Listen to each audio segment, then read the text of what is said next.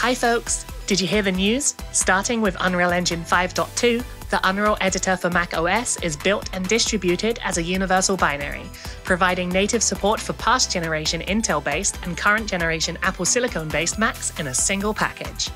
Learn more about these tech developments at unrealengine.com/feed. Find out how Metaverse Entertainment use MetaHuman and Unreal Engine to create a natural, believable, and charming virtual K pop band, creating a new wave in the genre that has garnered over 21 million views. Learn the choreography of the development of MAVE on the feed. While there, be inspired by the developer interview with DogHowl Games and how it overcame monumental challenges to development and stayed true to its original ambition for Level Zero, using their ingenuity, perseverance, passion, and the tools the studio skillfully leveraged within the Unreal Engine ecosystem. Cute monsters, treasures, and a franchise that has enthralled fans for 36 years.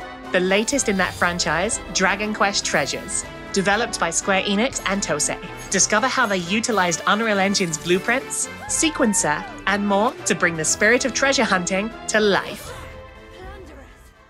Stepping over to this week's Community Spotlights with this vibrant and stylized environment from senior 3D environment artist Salvatore Gambino and the team behind the upcoming game from Illuvium, Overworld. In this fantastical setting, you can see how they have strived for a cohesive, vertically designed monument of a map. Let them know what you think of Brightland Steppes over on their ArtStation.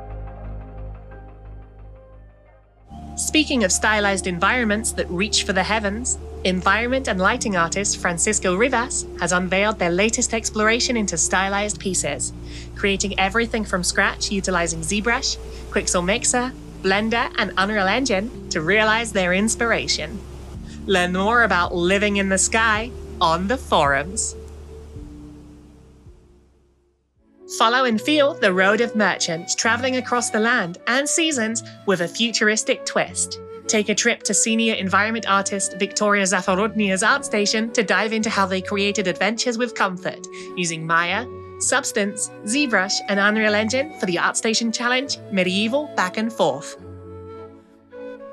Thanks for watching this week's news and community spotlight.